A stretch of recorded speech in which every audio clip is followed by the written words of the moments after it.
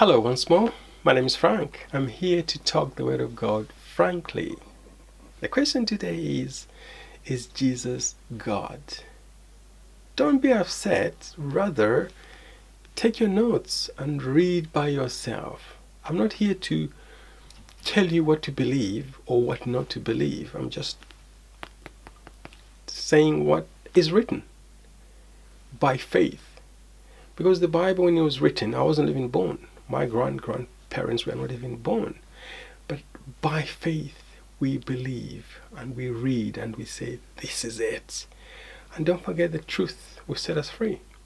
The question is Is Jesus God? Is He? We read in the first video, Genesis 1, verse 1.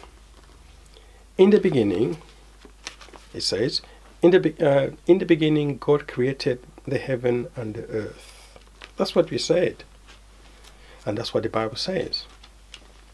Also, we read in the first video, uh, it says John 1, verse 1. So don't forget John 1 and Genesis 1. So simple to remember. 1 and 1. It says here, In the beginning was the Word, and the Word was with God, and the Word was God. That's what the Bible says in John 1, verse 1. And in the earlier video, we said John was born as a forerunner, somebody who is running ahead of Jesus Christ. He was telling about him, like prophesying, this thing will happen. But the people came to him, they asked him. The Pharisees, they came to him, they said, Are you the Messiah? They're asking him. Um, I'm, I'm reading from John 1, verse 20. And he confessed and denied not, I am not the Christ. That's what John said. He says, I'm the voice of the, one crying out in the wilderness, crying out, foretelling. And then the people, they still quizzed him. They said, Who are you then? Are you the Elias? Which prophet are you? verse 29 of uh, John 1 the next day John sees Jesus coming unto him and said, Behold, the Lamb of God, which takes away the sins of the world. John had a vision.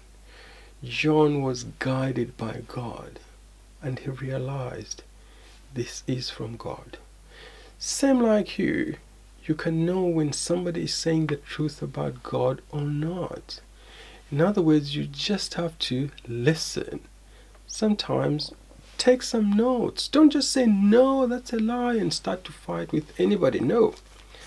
Because most of the people sometimes they just talk, but they don't show you. But I'm here, of course, to talk and also to show you. That's why I'm opening the Bible. What are we saying? That's why we must search the scriptures. Don't think we'll find him in the scriptures. He already is there. He actually himself, he actually presented himself. But because we don't know the word of God, that's why we err.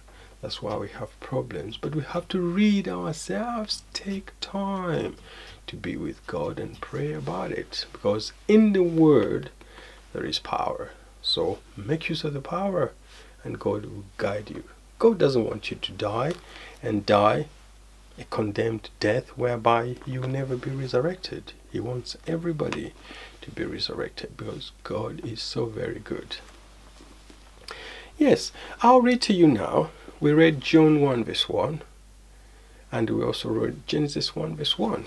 This time, let's go to another one. Hebrews. Take your Bible. The book of Hebrews 1 you guessed it right. Also, verse 1. So, if you forget everything else, just go on to Genesis 1, verse 1 in the beginning. God created, and then John 1, verse 1. Of course, there was a word, and the word became uh, a person who was Jesus Christ, as Genesis, as John 1 says. But then also here in the book of Hebrews 1, also verse 1 as you guessed it. Let's read it together. It says here, God at sundry times or different times and in diverse manners or in different manners he spoke uh, in the past uh, through the fathers by the prophets. So god he spoke in the past through to his prophets through other people. That's what it says. Verse 2 says here, has in these last days spoken to us by his Son, whom he has appointed heir of all things, by whom also he made the words. So it's very clear here. Hebrews 1 verse 1. God at different times in the past he spoke to people through the prophets. But this time, the Bible is clear, nothing to hide. It's not missing anything at all. In these times, He has spoken to us by His Son. Who is His Son? His Son is Jesus Christ, the one who was the Word at the beginning, and then He became flesh in the book of uh, in the book of John, chapter one, verse one. But the people, his own people, denied him.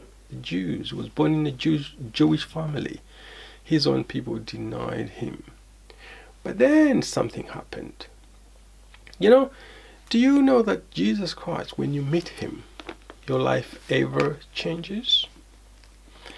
There was a person in the Bible, in the book of Acts, chapter 9. It's a clear story there. His name was Saul he was so much against the people who believed the word. He was actually planning to take them down and finish them all. He wanted to kill everybody who believed in the word. Yes, in the book of Acts, uh, in the book of um, Acts, chapter nine. Let's read it together, because then, if we read together, as I said, many times in the past, then we know the truth. And the truth will set us free. And so, that's um, um, Acts 9, verse 1. And so, yet breathing out threatenings and slaughter among the disciples of the Lord, he went into the high priest. Saul was a killer. He was saying, Oh, these people, I hate the Christians which happens also even now. I hate these people who believe in God. And then he went, he was breathing fire. He says, I'll kill them. And I'll kill them. And he went to the high priest to beg. He says, Give me permission. Order to say he can do it. And of course, what happened is he was on the way on his way. He was going. I said, I'm gonna kill these people. He was given the order. But then verse 4, I'll read it to you. It says, um, And as he journeyed, uh, he heard a voice. First of all, he was struck with a, a light from heaven. That's verse 3. Uh, as he was going about, um, suddenly there shone around him a light from heaven. He was going to kill the people.